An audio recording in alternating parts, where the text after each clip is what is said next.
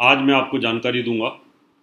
अभी अभी थोड़ी देर पहले, बुद्ध ने राशि परिवर्तन कर लिया है। और बुद्ध और शुक्र दो मित्रों का मिलन, तहलका मचाएगा। दोनों एक दूसरे के मित्र हैं और दोनों मध्यम बली हैं। मध्यम बली का मतलब है कि दोनों ही बलवान हैं।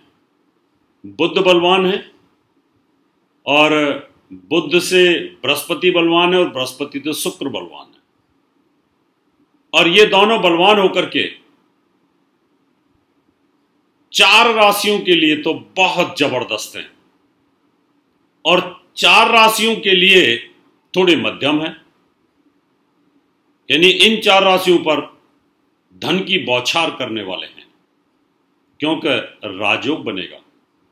मालव नाम का राजयोग बनेगा, केंद्र त्रिकोण राजयोग भी बनेगा। अभी अभी ये परिवर्तन हुआ है। अब वो कौन कौन सी चार राशियाँ हैं, जिन पर धन की बौछार होगी, वो कौन सी चार राशियाँ हैं, जिनका भाग्योदय होगा, और वो कौन सी चार राशियाँ हैं, उनके तीसरे, छठे, आठवें और बारहवें भाव में भी कोई ना कोई योग अवश्य बनेगा। मैं अभी हम शुरुआत करते हैं। सबसे पहले मेष राशि से शुरुआत करेंगे। मेष राशि वालों, आपकी जो राशि का स्वामी है, वो है मंगल। वो छठे भाव के अंदर बैठा हुआ है और आपके आयु का स्वामी भी छठे भाव में बैठा हुआ है। इसका मतलब यह है कि आपके स्वास्थ्य के ऊपर इसका नेगेटिव इफ़ेक्ट रहेगा। लेकिन बात धन की करते हैं तो यहाँ धन का स्वामी और सप्तम भाव का स्वामी शुक्र है। और शुक्र अपने मित्र बुद्ध के साथ बैठ करके यहाँ पर मालव्य नाम का महापुरुष राजयोग बना रहा है। थोड़ी सी भी मेहनत करेंगे तो आपके पास अपार पैसा आने का योग बनता है और आप बहुत भाग्यशाली हैं। आपको यहाँ पर एक तुरंत ओपल पेन लेना चाहिए। इससे बड़ा ज़बरदस्त लाभ मिलेगा। और दूसरा यहाँ पर एक और जो हमें महापुरुष राजयोग मिल रहा है, वो है यहाँ पर सस नाम का महापुरुष राजयोग और तीसरा है देवगुरु बृहस्पति का। नीच बंग राजयोग यानी आपके कैरियर के लिए भी बहुत अच्छा है, आपके भाग्य के लिए भी बहुत अच्छा है, आपके धन के लिए भी बहुत अच्छा है, और आपके वैवाहिक जीवन के लिए बहुत अच्छा है। इस समय अगर आप शादी करने की सोच रहे हैं तो आप प्लानिंग कर सकते हैं।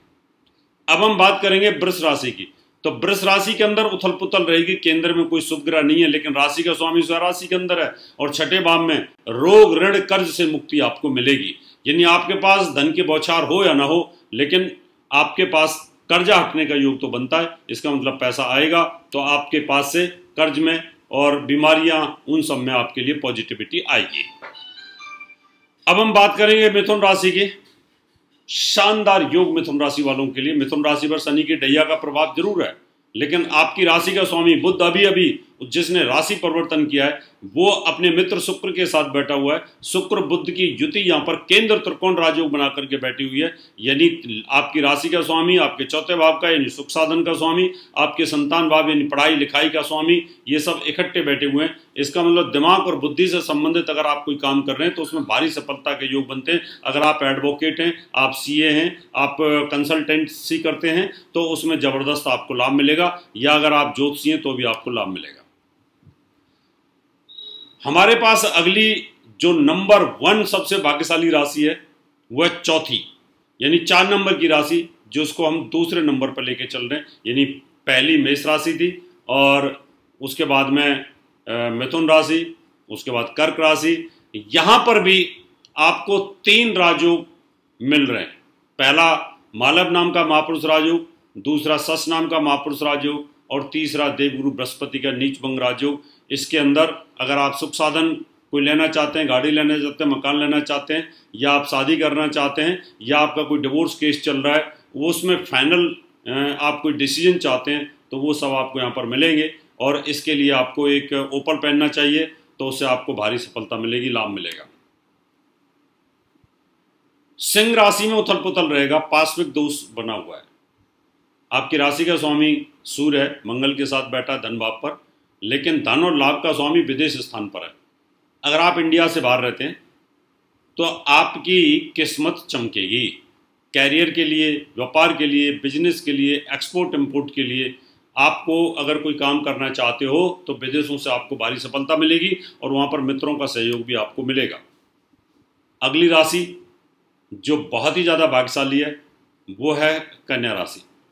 कन्या राशि के अंदर भाग्य का स्वामी, आपके कैरियर का स्वामी, आपकी हेल्थ का स्वामी और आपके लिक्विड कैश का स्वामी, धन का स्वामी। ये सब इकट्ठे बैठे हुए हैं धन बाप पर। भारी धन आने का योग, धन की बारिश होने का योग, बौछारें आने का योग, यानी बहुत ही भारी सफलता आ रही है। यहाँ पर आपको एक पन्ना भी पहनना होगा और साथ में आपको एक ओपल भी पहनना पड़ेगा, हीरा भी पहनना पड़ेगा। मंगलिक योग का प्रभाव ज़रूर है तो यहाँ पर थोड़ा सा वैवाहिक जीवन को संभाल कर रखने की आवश्यकता होगी। अगली हमारे पास भाग्यशाली राशि है, तुला। तुला राशि में स्वयं मालव नाम का महापुरुष राजयोग फुल डिग्री पर, पावरफुल डिग्री पर बना हुआ है। और साथ में बुद्ध भी वहाँ पर आ चुके हैं, भाग्य के स्वामी। भाग्य का स्वामी और आपकी राशि के स्वामी दोनों एक साथ बैठे हैं। भाग्योदय होगा, शेयर बाज़ार से लाभ मिलेगा, जुए सट्टे से भी लाभ मिलेगा। प्रॉपर्टी में अगर आप रियल इस्टेट का काम करते हैं, उसमें भी लाभ मिलेगा। सेल परचेज का कोई काम करते हैं, गाड़ियों का व्यापार करते हैं, उसमें भी आपको भारी सफलता मिलने के योग बनते हैं। पैसा आएगा आपके पास में। उसके अलावा एक और आपके पास में राजयोग बन रहा है। वह केंद्र त्रिकोण राजयोग के साथ साथ सस नाम का महापुरुष राजयोग और देव गुरु बृहस्पति का नीचभंग राजयोग। नीचभंग राजयोग में अपार पैसा हमारे पास आता है। वृश्चिक राशि में उथल पुथल रहेगी थोड़ी सी। उनको सावधानी रहने की ज़रूरत है, लेकिन आपको होपलेस रहने की ज़रूरत नहीं है। होपलेस मत होइए, क्योंकि आपकी राशि का जो स्वामी है विदेश स्थान पर बैठा है। अगर आप विदेश में रहते हैं, विदेश से लाभ या एक्सपोर्ट इम्पोर्ट का काम है तो आपको सफलता मिलेगी और विदेश जाने का योग भी मिलेगा, विदेश में नौकरी के योग भी आपके आ रहे हैं।